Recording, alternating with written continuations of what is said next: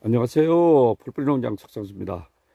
오늘 간물 아침 최저 기온이 3도 내려갔고요. 어, 낮에는 한 10도 가까이 올라가는 것 같아요. 어, 그래 하우스에 지금 왔더니 지금 시간 9시인데 아까 5시쯤 와서 확인했고요. 어, 지금 9시인데 현재 하우스 안 온도가 10도에서 12도 왔다 갔다 하네요. 아, 그래서 일단은 어, 이불을 벗겨 보려고 그러는데요. 한번 안에 보겠습니다.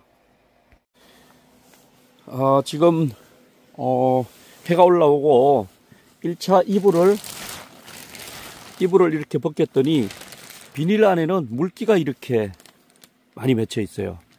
그래서 저는 이거 보면은 여, 여기 지금 부직포에 물기가 떨어져 있죠.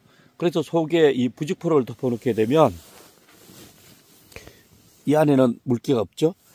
이게 만약에 부직포가 없다면 비닐에 맺혀 있는 이 물이 잎에 바로 떨어지게 되겠죠. 떨어질 때 차갑기 때문에 아마 고추가 놀랄 걸로 알고 있고요.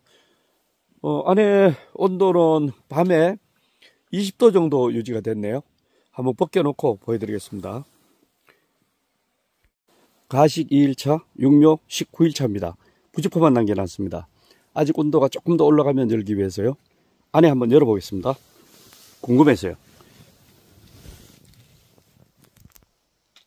아, 예쁘다.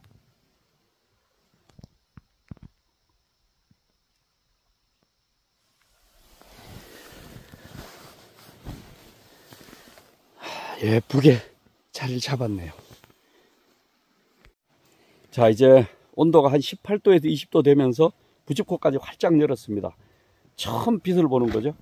어, 이때까지는 계속 덮어놨었는데 올 아침부터 이렇게 벗겨서 어, 올라온 거 보면은 지금 아주 좋아하고 있어요. 어, 얘들은 물, 태양 얼마나 좋아하겠습니까? 그럼 전체적으로 보면은 이쪽하고 이쪽도 이렇게요.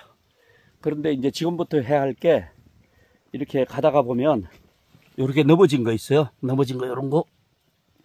여러분 이렇게 이렇게 줘요. 아직 약해 가지고 못 일어서거든요. 어, 다니면서 요거 다 이렇게 줘야 돼요. 그리고 물은 뭐 오늘 내일까지는 아마 안 줘도 될 걸로 알아요. 그리고 덮는 거는 이따가 온도가 하우스 온도가 한 20도 이하로 내려가면 바로 덮어서 열을 좀 가둬줘야 돼요.